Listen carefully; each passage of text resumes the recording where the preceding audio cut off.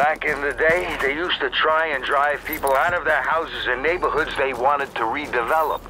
They'd send in these good-for-nothing goon squads. Your friends at the LMB, they're doing the same thing. Some wiseacres called Javelin Squad. They're causing a ruckus.